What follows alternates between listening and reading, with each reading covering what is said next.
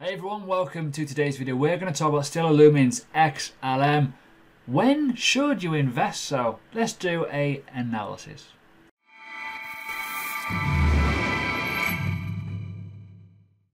So welcome everyone, hope you're good. New to the channel, subscribe, hit the bell button, press the like button, and do whatever the hell you want. Troll if you want, comment about my hat. I don't know, take the piss. Anyways, serious matter. People have asked for this a few times actually. Stellar is a pretty decent, in my view, alternative to a payment mechanism other than the likes of obviously Bitcoin, XRP, Litecoin. It's pretty darn fast and it's probably going to get quite a lot of traction over the next few years as a payment mechanism. So, since I've done this, new website, it's looking pretty flash, I quite like it.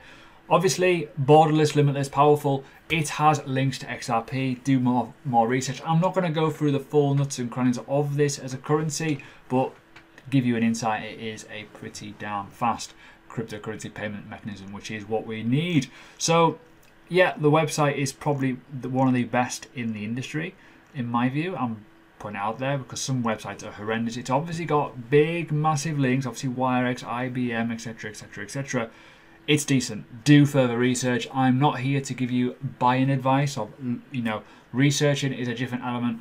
So we're going to talk about prices in terms of when to buy if you are already a fan. So please do your research.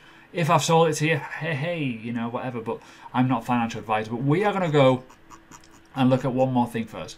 In terms of all this, in terms of tools, I want to just mention one thing about a cryptocurrency in terms of research. Speed in payment mechanisms matter. Faster they are, the more likely people will use it. I use XRP a lot for moving stuff around because it's fast. Funny that, this is just as fast. So we're going to go into the chart now. So let's look at it. Bold chart when it loads. Um, as bold as you like. You know, we're going to go from scratch again. And we're going to look at the history. Now this is odd because this is a Kraken chart. In terms of history, it's not been around that long. Okay, it's been quite a slow burner. And then obviously what happened in August 2017 up to obviously that element, the chart died. I don't know what happened, but we have been up here. We know what's happened. All-time highs, pretty damn high. Obviously XLM, XRP, similar sort of traits. And it's obviously been a lot higher. So people are probably wondering, well, where can it go now? So we're going to zoom in on current price live action and look at where we can go. Now we're going to start off on the daily time frame. I'm not going to go weekly because I can't be bothered. I'll be honest with you. Just there's, you know, we'll see the structure. And when you start looking at where we are right now at six cents, give or take, about seven cents. Okay, we'll, we'll round it up. It's pretty damn good now, in my view. So obviously we've got bottoms here. Now, whether this is a confirmed bottom or not, I don't want to put back. What am I doing here? Oh my god. We have been lower in the past. But in terms of history, this is as low as it's been for a long, long, long time. Okay, in terms of price action pre-bull run, we're looking at these levels. So when I start thinking, well, where could this obviously drop in terms of the floor? You got to start looking at three cents, right? As daft as that sounds, you got to look at three cents because, in my view, anything's possible if this market turns bearish. I've obviously been bearish for quite a while due to this Great Depression that could be amongst us with the real life world of currency. Um, obviously, people are buying up Bitcoin due to certain elements of halving, but in my view, I think it's going to be a bit painful before it gets good again. In my view, I think market manipulation will happen. Now, obviously, we've got a nice little support bed here, resistance as well, breakout, cool, happy days. Key levels, okay, key key levels. Now, I want to talk about a few little things here. The reason why I'm plotting these on the chart so you can see them is just to kind of put rep, rep, repetition in your mind to see the turning points. When you start seeing things that turn, and it kind of looks obvious, you know, it kind of is. There we go, rejection, boom, support, off we go. You know, it, it helps a lot. Now, I'm only going to put four on here because I don't want to go too far in the future because it's kind of interesting. But we're going to look at this level here. Now, I don't want to create any sort of FOMO, but if we do break out and things get a lot higher, it's going to create some nice multiples. Now, six, seven, eight cents, whatever, when you start thinking the long-term effects of can this coin go up to a certain level, it's multiples. This is where people make money when they're buying low. If you are buying at, say, five and a half cents, cool, good buying point. If you start buying at 4 cents, even better. 3 cents. If this ever achieves and goes back up to all-time high levels, it's easily, you know, in some cases 10x gain depending on your levels, at least an 8x or 5x gain. We do not know what's going to happen in the future. This is why it's kind of important to look at where's to buy. Now, in my honest viewpoint, when we're looking at this level here, which I've just literally plonked on here, which is a probably you could probably argue a psychological level of give or take seven cents. We've obviously had a history here before. If I zoom out, you can see all this history here. Right? It's not much, I know, but we've got history. This history is a, a big support and resistance level from the past. We've seen it. It's obvious.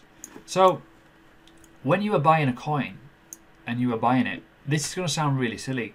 You don't buy at resistance. You just don't. You just it's not worth the risk. You got to wait for the pullback. If this pulls back, and it could, buy it.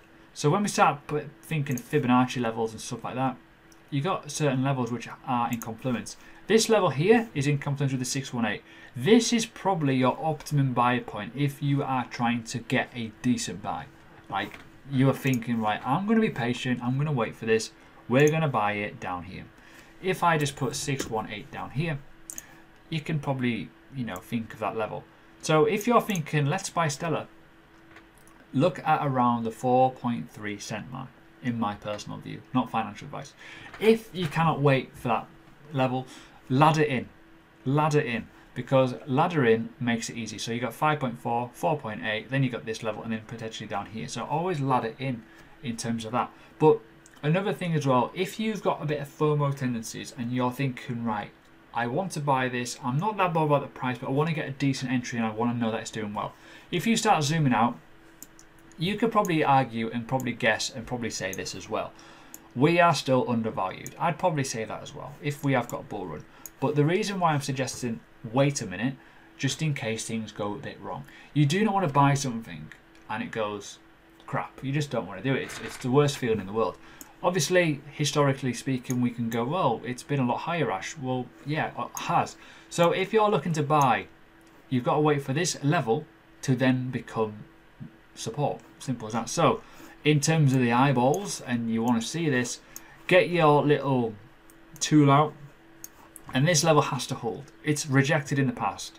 Yeah, you may get some quick wins, but if you're looking to be an investor, an investor, you want to kind of make sure you get this right because this is the more risky side of it. This is why I'm saying, well, just wait. Because you could have a little impulse that pops up and then it uses this as the support base, the foundation, and then you could argue, well, yeah, we could go up like this. Cool, up to 10 cents. It's possible, right? What's at 10 cents? Well, all kinds of other rubbish up here. So that is that. If you've got FOMO things, if you cannot wait, wait for the breakout, wait for the retest, if it is support, go for it.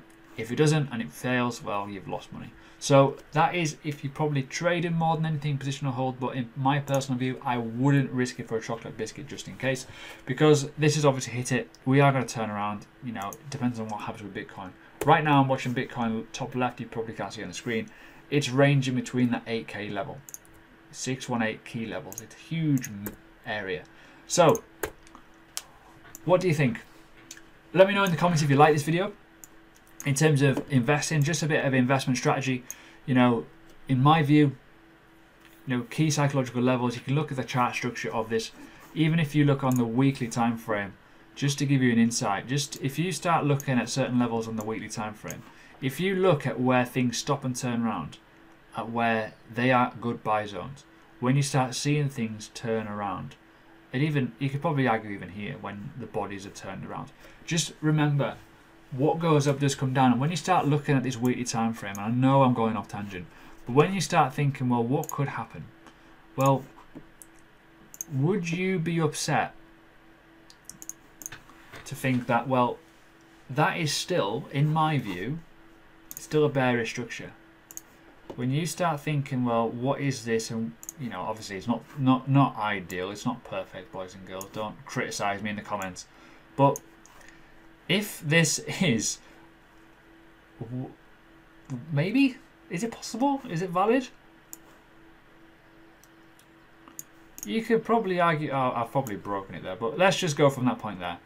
you know, it isn't too far away. As I say, trend lines for me in crypto aren't the greatest. You can cheat on them, but if you're going to be valid and have a valid point, what would suggest of a nice investment at 2.7? So let me just mark that on there.